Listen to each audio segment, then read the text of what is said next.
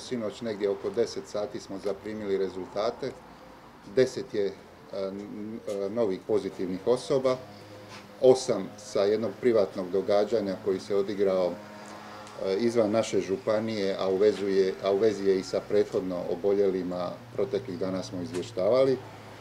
Sa tog privatnog događanja, što u našoj županiji, što u drugim županijama, Dubrovačkoj, Primorsko-Goranskoj, Šibenskoj, u gradu Zagrebu i u Požeškoj županiji, dakle imamo sa tog događanja 26 za sada oboljelih prema našim podacima. Dakle, od tih 10, 8 je sa tog privatnog događaja, a preostala dva nisu povezana sa tim događajem i za sada je u tijeku epidemiološka obrada. Nismo mogli od sinoć do jutros u epidemiološkoj obradi e, decidirano zaključiti o čemu se e, radi, dolazi u obzir i lokalna transmisija. Dakle, e, radi se o tome da osim ovog događaja koji je već opisan, se pojavljuju i slučajevi koji nemaju veze, a ne može se u potpunosti, barem ne za sada, utvrditi ko bi bio izvorni pacijent. Ono što također treba kazati da ova situacija i ove, ove brojke e, nisu konačne. Dakle, nisu gotovi svi nalazi. E, jučer je e, puno ljudi obrisano, čekamo još dio nalaza od prekjučer, tako da ja očekujem da će te brojke još rasti. U susjednim županijama je također situacija da raste broj oboljelih. Sve ti oboljeli imaju svoje kontakte, dio njih dio kontakata je i sa područja e, naše županije. E, dakle, pozivam još jednom sve na poštivanje mjera, kako na individualnoj razini, a tako i da sve dakle, institucije se drže onih propisanih mjera, pa bi tako kazao da je i zahvaljujući dakle, pridržavanju tih mjera, da su e, neki od ovih pacijenata otkriveni na propisan način i da se spriječilo nekako daljnje širenje e, unutar pojedinih institucija, uključivo i e, zdravstvenih za sada. E, ono što također bih htio kazati da su pred nama lijepi dani i da je moguće držati tu fizičku distancu, da je moguće prati ruke i da je moguće se pridržavati svih ovih mjera koje su navedene. Profesor Cvitković će biti glavno rekao sve, ja ću hospitaliziran, imamo jednog hospitaliziranog pacijenta, odno jednu, hospitaliziranu osobu sa sumnjom na COVID-19 u desetom desetljeću života, dakle koja čeka bris. A, a ostalo, dakle, e, nemamo hospitaliziranih od ovih deset i svih e, deset su uglavnom E, mlađi ljudi dakle iz e, radnih, iz radne dobi koji su razvili ili blaže simptome ili su asimptomatski i njihovo se stanje dakle sa e, kroz naše infektološke kroz našu infektološku ambulantu i dnevnu ambulantu svakodnevno prati. Tako da u ovom trenu imamo samo jednu hospitaliziranu u COVID-1 zgradi, ali se zbog usložnjavanja situacije, dakle u biti i multiplicira, odnosno rekao bih, dakle, uveličava, uveličava e, količina posla, dakle, u općoj bolnici dr. Josip Bjenčević. Jučer je obrisano preko 280 e, briseva, što je značajno, jer smo recimo prije 14 dana brisali 20, jel? prekjučer je preko 120, tako da u ovih par, u ova tri dana je preko 500 briseva, dakle, otišlo, e, uzeto 500 briseva. I zbog toga isto molimo strpljenje dakle, i naših sugrađana i ljudi koji su involvirani u, taj proces, jer dakle, je obim posla znatno povećan. Zbog toga su dakle učinjene i određene organizacijske, rekao bih, šeme u kojima je broj ljudi koji rade na tim poslovima sad malo povećan, što odmah znači da će ovaj hladni program koji smo dakle u reaktivaciji unatrag mjesec dana vjerovatno ovaj, malo sporije ići. Inače smo se reaktivirali za pretprošli mjesec 75%, jučer su došle statistike kompletne za prošli mjesec je na 85%, što bi se u biti zbog ovih ljetnih e, e, mjeseci moglo reći da je full pogon u onom smislu koliki su postoci u ljetnim mjesecima u odnosu na ostatak godine.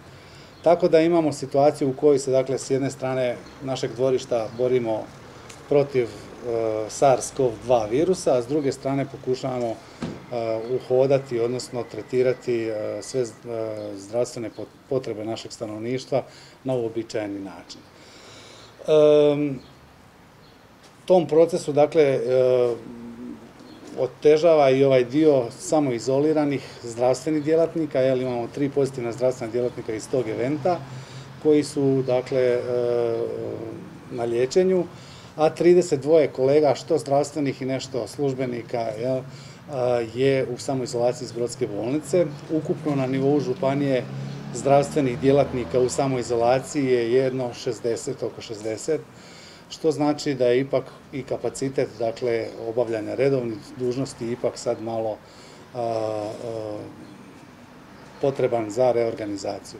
Tako da svi sustavi rade, ali evo molim za strpljenje. E, uz to strpljenje, dakle, molim i za ono što je e, pokazalo se najvažnije u ovom periodu, a to je naše ponašanje, jel? Mi sad, dakle, ne trebamo nikakve studije ili, ili znanstvene časopise da nam kažu da dok smo se ponašali odgovorno, bili u izolaciji e, i poštivali sve ove preporuke stožera, na, prije tri tjedna imali brojeve od 0 do 10, a sad kad smo se svi opustili ovaj, i kad smo malo zanemarili, te preporuke, brojevi se penju dakle, na troznamenkaste. Zbog toga evo, apeliram na samo odgovornost, svi budimo svjesni, svi budimo svjesni svog položaja u kojem jesmo i gdje radimo. E, naročito apeliram na kolege zdravstvene ovaj, djelatnike da vode brigu o tome da ovaj, njihova radna pozicija je takva da mogu dakle, e, lako i dobiti i biti transmitori. E, apeliram na sve mlađe koji dakle možda i lakše podnose ovo sve i lakše prođu i kroz samu infekciju, da razmisle malo o starijima, jer očekivaju, za očekivati je kod porasta ovakvog broja, kod porasta broja zaraženih, da će rasti ona statistika koja nam nije mila, a to je porast broja hospitaliziranih i pacijenata na respiratoru i tako dalje. E, evo, dakle, apel, molim poštivanje svih mjera, budite strpljivi, izbjegavajte zdravstvene ustanove ako možete, dakle, rješavajte što više telefonom, u bolnicu dođite kad je nužna potreba, uz najavu da reduciramo mogućnost susreta na hodniku, u čekaoni i tako dalje. Inače moram pohvaliti dakle, da je sustav dobro postavljen jer kao što je napomenuo profesor Cvitković, i sustav je odreagirao u slučajevima u koji, koji nisu bili najavljeni, dakle i, i ti su dakle, pacijenti otkriveni na samom ulazu u bolnicu, čak i prije nego što su ušli uh, na OHBP i u, ovih, u ovom trenutku je odreagirano. Naravno, ukoliko se brojevi eksponencijalno ponašaju, da će to biti ovaj, znatno teže. Ja bih se još kratko osvrnuo na ovu problematiku javnih e, okupljanja, koja površanjem razvoja epidemiološke situacije postavi naravno sve e, veći, e, sve veći rizik za širenje virusa u populaciji. Kao što znate, prije dva dana u priopćenju smo naznačili to taj dan i, ovaj, odradili, zatražili smo od lokalnih stožera za ovaj vikend pojačaju nadzore nad e, javnim okupljanjima na svom području. Isto tako smo od lokalnih jedinica zatražili da minimiziraju e, javna okupljanja kojih su oni sami e, organizatori. Evo neka su javna okupljanja i otkazana, neka se održavaju. Mi ćemo ujutro u ponedjeljak u 9 sati održati našu redovnu konferenciju sa lokalnim stožerima gdje će oni podnijeti izvješće vezano za situaciju tijekom vikenda s naglaskom na ta javna okupljanja, pa ćemo temeljem toga procijeniti naše daljnje e, aktivnosti u tom smislu, a koje mogu ići i u tome da u tom pravcu da e, za izvjesno vrijeme ili do daljnjeg ograničimo, odnosno zabranimo javno okupljanje na području Brodsko-Posavske županije. Možda je to nešto što će se razmatrati na razini nacionalnog stožera, ali ne bih e, prejudicirao, kažem, ovisno o razvoju situacije ćemo donijeti odluku. Ne donosimo odluku za pojedinačna javna okupljanja. Evo jasno je doktor Cvitković rekao da je to sve definirano e, i odlukom nacionalnog stožera, koji su to gabariti, koji su to uvjeti preporukama Hrvatskog zavoda za javno zdravstvo. I osvrnuo se kratko na e, sutrašnji dan izbora. Od lokalnih smo stožera također tražili da obiđu sva biračka mjesta na svome području, ali to je nešto, dakle, izbori u nedjelju gdje ne očekujemo E, nekakve posebne probleme na biračkim mjestima, to nisu javna okupljanja, tamo će biti pet ljudi iz biračkog odbora, bit će tri, četiri najviše e, promatrača i dva, tri ili četiri glasača, ovisno o broju onih putija za kojima se glasa, a ulaz će biti kontroliran kako ko izađe, tako može sljedeći glasačića kojih e, ima koji čekaju redu, dezinfekcija obavezna, maske obavezne za biračke odbore i za promatrače, to je sve očekivano, tako da tu evo ne očekujemo nekakve probleme u smislu sigurnosti provedbe samih izbora.